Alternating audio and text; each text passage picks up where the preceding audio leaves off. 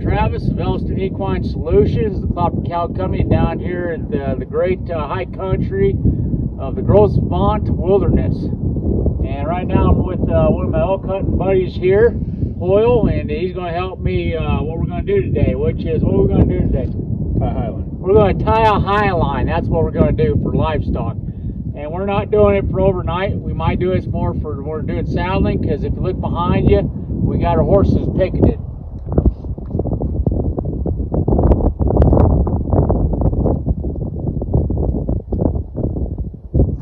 All right, so the first thing we do is we got uh, the plan is, is from this tree right here. You follow the purple rope and it goes to another tree with some horses just uh, stationed there temporarily. Uh, and that's where another anchor point's going to be. On this side here, what we're going to do is a, what we call the tensionless anchor because there's no tension on it. So first thing we're going to do is help Hoyle here, we're going to grab this rope. He's going to go behind, he's just going to hold it there.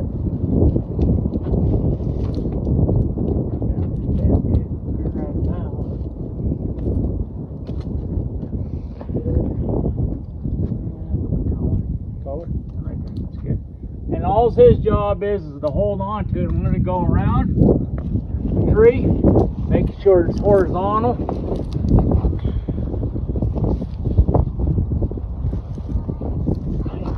To do round turns all the way around. I'm to do about probably about six of them. Because what I don't want to do is scar up the bark. That's why we're wrapping around multiple times. I'm to make sure that the rope is touching where there's no gaps and no crossovers like this. Nice and even all the way around. And you can see I got the bundle in my hand. And what I'm using is old rock climbers uh, rappel rope that you can get from colleges or whoever's just starting old uh, rock climbing ropes. I like to use them a lot because uh, they do pretty well in the water and the nature's elements.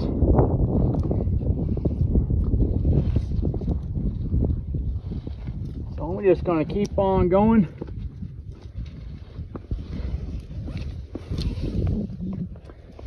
And we're pretty much as how many wraps really need, but I'm just going to keep going and give up my excess here.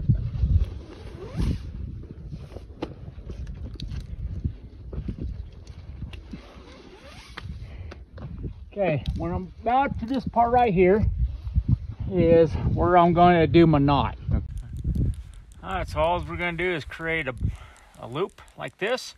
See, it's crossed. This is for the figure eight knot we're going to make, and we're just going to bring it over like this. Now what you see is one loop here and one loop there. I'm going to take the, the running end of the rope, feed it through, and I have a figure eight knot. Now, because I'm going to do a figure eight retrace on this high line, I'm simply going to take the running end of the rope once again over top of the high line, and I'm going to retrace the figure eight pattern going from north to south.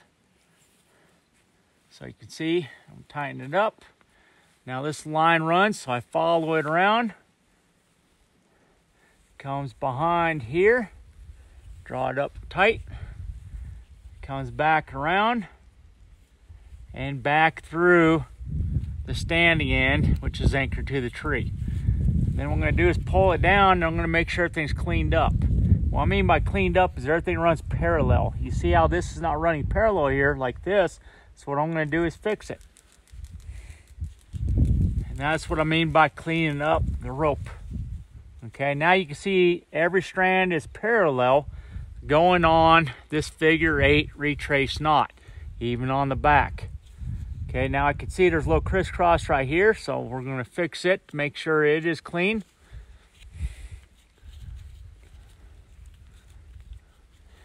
Let's see here, there we go. I'm just gonna clean it up like I said. Draw it tight. Okay, double check. Now I have everything nice and neat and running parallel. Okay, that looks pretty good. So that's my figure eight knot right there. Remember, this is a tensionless knot on this anchor point right here. The main line is going to walk all the way down to their side.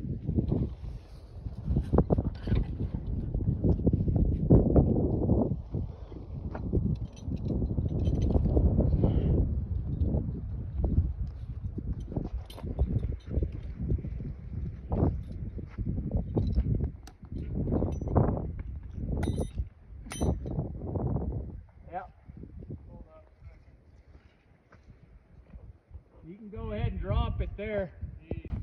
Okay, once we have the tension tensionless hitch done, what we're going to do is start putting uh, butterfly knots all the way down uh, this rope.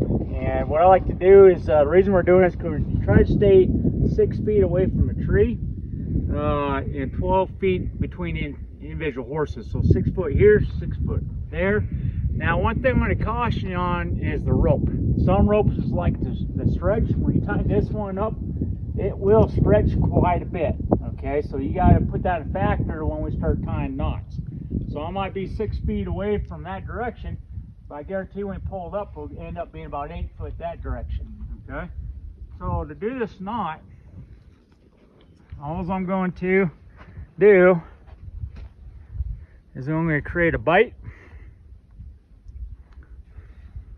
I'm going to twist once and twice. Then I'm going to lay it back on itself. When I lay it back on itself, there's going to be this X created here. I'm to take the top of the loop, run it through the X, and pull it through.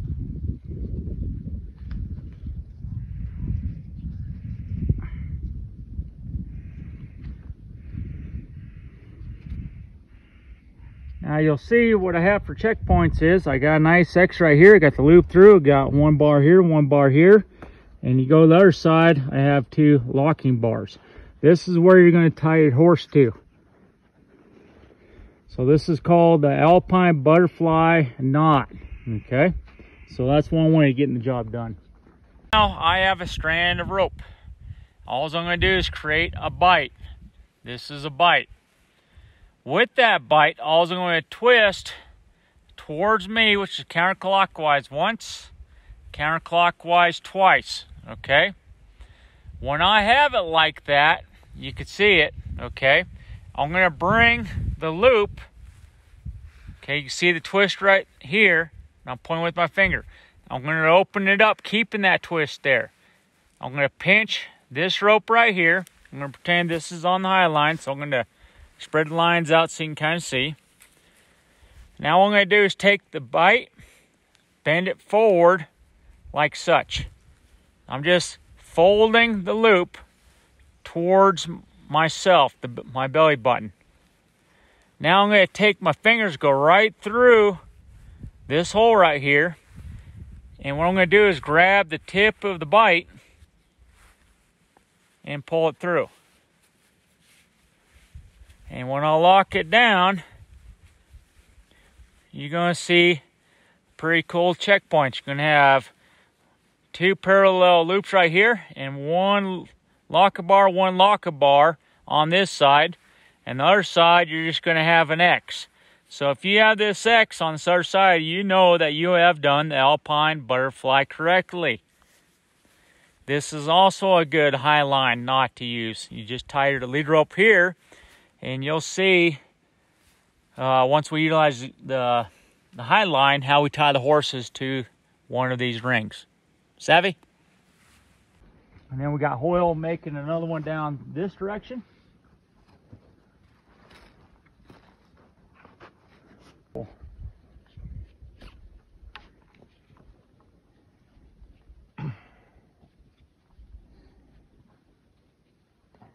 There we go.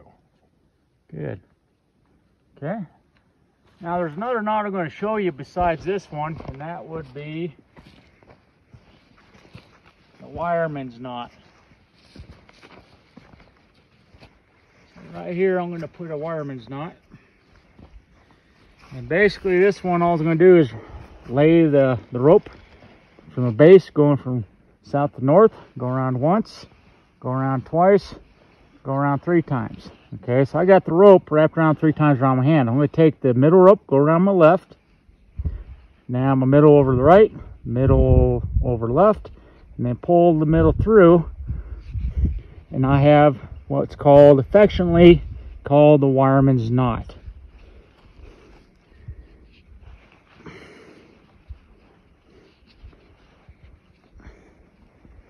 This one I got taught a long time ago in Boy Scout camp with an old Coast Guard Navy guy. And you can see what it looks like right there. It looks like just a gob of wires rolled together, but it's real pretty. You got one loop there, one loop there, loop there, loop there, and you tie to. And that's a real common one you could use for a high line too. Okay, so I have the camera going over my right shoulder so you can see the knots better while I'm tying them. this one's going to be the wireman's knot. I am right-handed, so I'll do everything right-handed. So basically what I'm going to do is I'm going to take this piece of rope, and once again, I'm going to run it from south to north, wrap the rope around my hand. There's two loops, and then I'm going to make my third loops. Now, this is called the wireman's knot. Now, you can see I have it real close or tight to my hand. To, that's going to be a small, small loop. So one key ingredient you're going to want to know about this is when I do the wireman's knot, what I will do is make sure that the loops are a little bit bigger but the same size. Okay, so I have. Two loops right there, and I got three across the palm of my hand. Now this is sequence. You always start with the middle one. I'm going to take the middle, go over the left strand. The middle, once again, over the right strand. Now the new middle is going to go over the left strand. Once I've done that, I'm going to grab the middle one and I'm going to pull it through. And at the same time, I'm going to re-grab the two ropes below. And all I'm going to do is draw it up tight. And that there is called the wireman's knot. This is a good knot, once again, to be able to tie the lead rope to a horse and keep them there on the high line. What's nice about this is when you draw it down tight here, you can see all the different crisscrosses of the wireman's knot, okay? You got one loop there, one loop there, one loop there, one loop there, one loop there, okay? So those are your checkpoints to make sure that you have this knot correctly. Real easy knot. Yeah, everything starts with that middle strand, okay?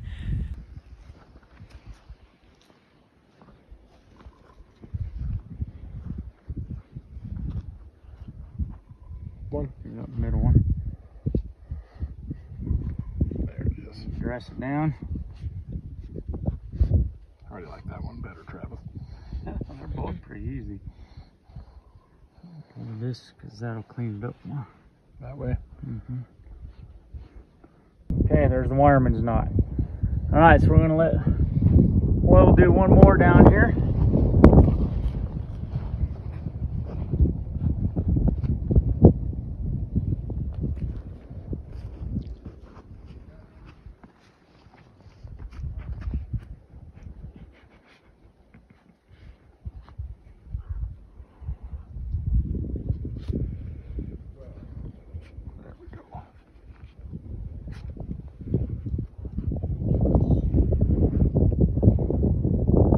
that time. Third time's a charm.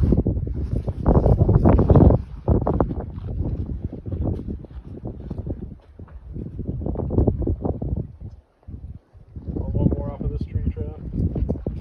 Okay, now we're good right there.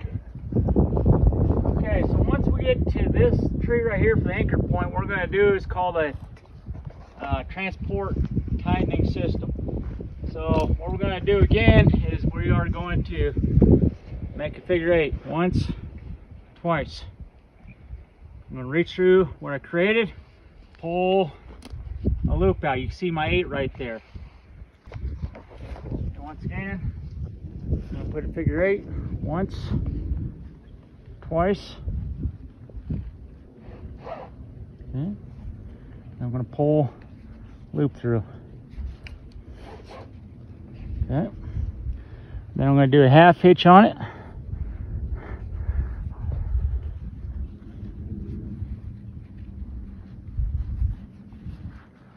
Like such.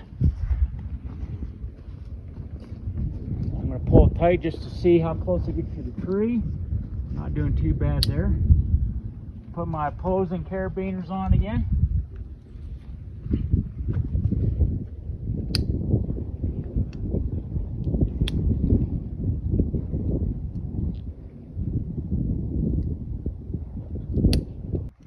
To do is I'm going to take my carabiners, the opening gate, I'm to place it right through the loop. I'm going to take my other one and I'm going to do opposing, okay? So what I'm going to do is flip it over, face it the other direction. Now I got one's going up and one's going down, okay? Now these ones are built a little bit differently. So what I'm going to do so that the gates don't pop open same, you can see like that and like that, they're opposing each other okay? So once I have this system going right here I'm going to leave it and then I'm going to grab my tree saver which is you know Travis he likes his fire hoses okay? What I'm going to do is feed it through the end of this rope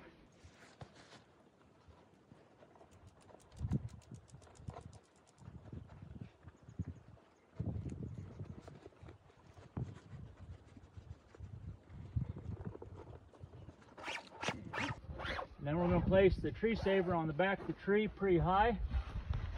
Right about right there. Then we're going to pull the rope through.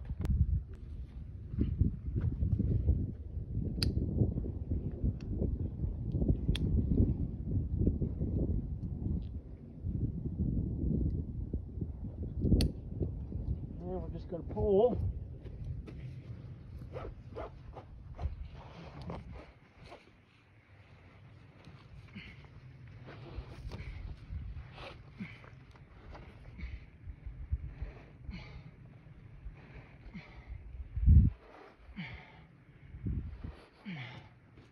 Okay, once I'm at this point, what I'm going to do is I'm going to go bundle this rope up into coils.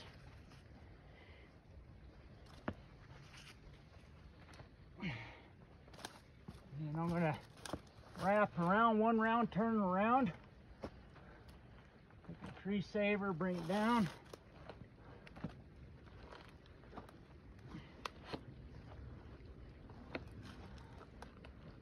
Then I'm going to place my rope around it.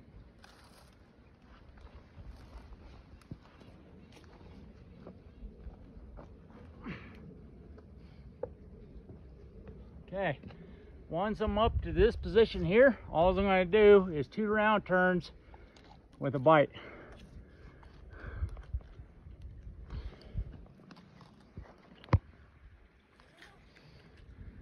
One, two. Bring it back through. So I got my two round turns and a bite. The bite being the loop here. Pull it tight and it won't come undone. Then what we're going to do is take our bundle to the near side of the tree. Bring it right over top everything. Slide it over take the excess here. And all I'm going to do is do a half hitch over top of it. That way my rope doesn't get gnawed on by any varmints. I'm going to throw one more half hitch on there so that when the wind rattles, does everything, it doesn't come undone.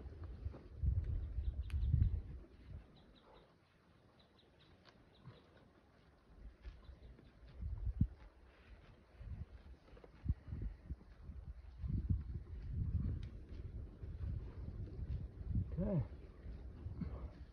And that basically all you do to make a high line. You see it's up high. I'm tying up here. It's above the horse's withers. I could tie up here. There's gonna be a little bit of slack, but it's really not bad. Okay, so this is a one way of getting a high line down.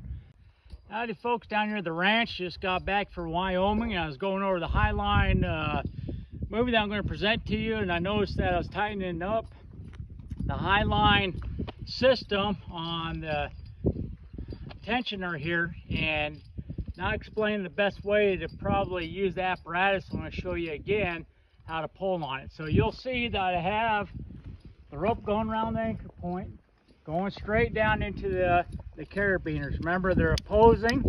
You can see that they're opposing. One's open this way, one's on the other side. Okay. Now, nice thing about this setup is I get the most torque by pulling on this side and tightening up the system. That's why I call it a transport system. As long as I keep tension on it, it'll keep tightening up on itself and then I can follow going around this way, okay? Now, if you have an obstacle on this side, like I showed on the video up in Wyoming, you can also do the same thing by going on this side and tightening up the system. A little bit harder, but still able to tighten up the high line. So I just kind of wanted to show you that that's what I like about the transport tightening system is because you can go around both ends. Once I'm here, I'm just going to go around my anchor point. Well, first I'm going to bundle everything up.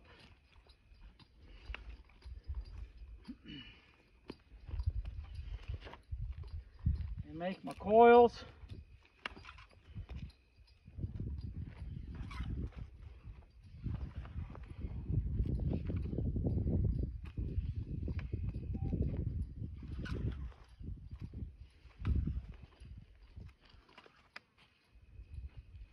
Okay, so I still got my tension on there and I'll come up here, I'll tighten it one more time, it's tight. Come back around I'll retrace everything come around to the outer edge and I could drop my bundle to the ground, okay? Then all I'm gonna do is take, create a bite, go around the top of everything, draw it tight, take my bite, go back up around and back through itself. And really what I got is two half hitches and a bite right here in location, okay? Once I'm here, I got straight tension, then I'm just gonna run a half hitch right over top of my bite and lock it down to place. Easy pleasy. Now if I got room right here, what I could do is coil up my rope again that I discarded the first time. And I'm gonna make big loops. Big loops. Same size, uniformity on the size of the loops.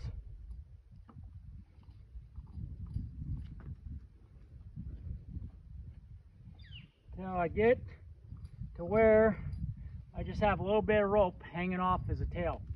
The reason I'm going to do the big loops like this because I'm going to take my rope and go over top uh, between the anchor where my knot system is and create a bend over it and draw it down halfway to the other loop. So I'm basically folding it in half. Do it again. There we go. Go underneath. I got my X right there still, slide it up. Gravity's defying me at this moment and lock it down. Now you're going to say, Travis, why did you fold it over? Well, for safety reasons. If I have a horse, and yes, it's supposed to be 12 feet away from the pole, cut in half, probably six feet at the minimum, I don't want them to have no chance of stepping inside the loop. If they're pawing or whatever, I don't want no chance for them to get caught up. So I bent it in half with half hitch. I got self or safe storage of my rope right here. All right, we're going to talk about this high line that's behind me over my left shoulder, and uh, I'm going to talk about another solution if you don't tie uh, in alpine butterfly knot or the excuse me the wireman's knot. There is also this solution here. This is called the inline swivel, and uh, it's a piece of metal, so you put it where you want to. It has a nice swivel on it, so when you tie the lead rope on it, it can go 360 degrees around. Uh, they do sell these at different locations. I know Outfitter Supply up Montana sells them, and it's real easy to use if you're not uh, in tune with your knots. And really, it's a no-knot system. That's why it was developed. So that's the advantage. Disadvantage is if you have a whole bunch of these, it's a little bit of weight to it, okay? So real easily, all you're gonna do is create a bite place the bite through the little rectangle here on the handle, slide the bite over top of the swivel and pull down on it. And what keeps it in place is once this uh, high line goes to the anchor point this way and same thing with this way, and you draw it tight, it will lock down on itself like this, okay? So I did want to cover this with you folks. Uh, just say that this is another way of getting after it with a no-knot system other than the bite. And uh, it's pretty simple, pretty easy. The only thing is you got a little bit more weight to your pack load if you are using them versus just using a simple knot, okay? Uh, I really like these type of knots, uh, Alpine Butterfly knot and the Wireman's knot because no matter how much tension's on it, you can always undo the knot. One knot you should never use, and I'll, and I'll just cover this real quick. And it's probably the easiest for most folks, but it's a common problem or issue for people just learning how to tie uh, knot on the high line. What they like to do is create a bite, and what they'll do is they will just make an overhand knot on a bite and pull through. The problem with this knot is, is if you have a load on it, it will really sink down hard and it is a pain in the rear end to undo it once it is pulled very, very tight, okay? So that's why we never use that knot on a high line. And that is why we either use the wireman's knot or the alpine butterfly knot or this little handy thing here. So there you go. More knowledge, which makes you become the solution. All right, folks, so with uh, the Ted Blocker tie ring is uh, depending on the diameter rope, you can either use a Ted Blocker tie ring or not. Uh, this is about a 3 8 estimation of a rock climber's rope. I can't find the millimeter for it, so I'm guessing 3 8 But anyhow, you create a bite, you go right through the Ted Blocker upper tie ring. Then all you're going to do is take the bite, open it up, slide it down, and then you have it locked in place. And then if you pretend I had this end tied to an anchor point, can see I could tie the horse up to this piece of portion, okay? So that's one thing I'll caution you with is just make sure that you can use a Ted Blocker tie ring. They are handy for multiple occasions and multiple purposes and that's one way you can use the, the tie ring, okay? So I just wanted to point that out. Another way of getting the job done. Thank you. All right, folks, so you can see we're packed up here uh, for the most part. And uh, on the high line, just want to know that you always try to get high enough where you have horse standing with load. They don't get caught on the high line.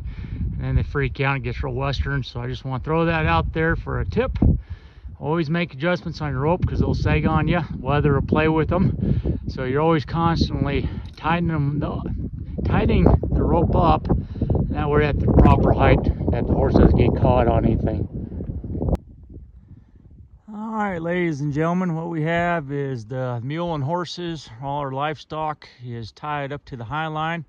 Kind of just wanted to uh, show everybody on this channel after we get them done being picketed stake, I like to throw, or we like to throw a nose bag on them up on the high line and then uh, do a once over on them see what injuries they might have possibly picked up through the night, if there's any rope burns from the picket uh, ropes, which I doubt, or are they just uh, rolling around out there and just kind of brushed up on something pokey or whatever. So we just do a once over. You can see they're nice and comfortable. And you can also see that there's good spacing between all the animals here. Also point of note is you can see that the lead ropes are long and that's in order for the horse to be able to lower its head down to the ground so they could shove their nose down into the feed a little bit easier inside of the nose bag.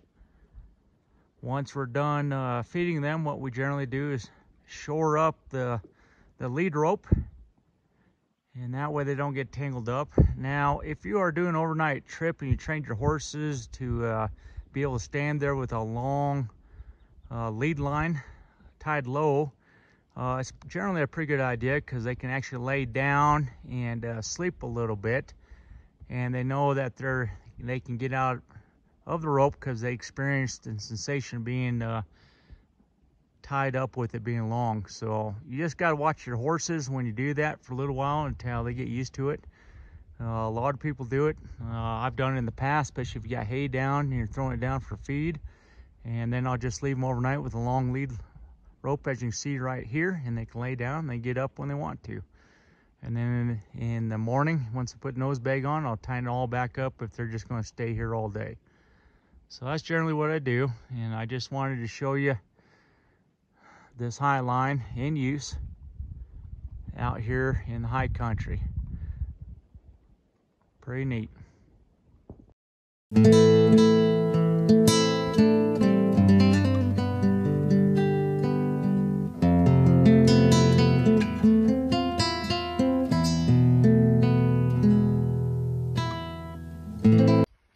Right, here's your biggest safety tip out there. Before you go to the back country and the high country, try to set up something like this as a high line station for training your horse.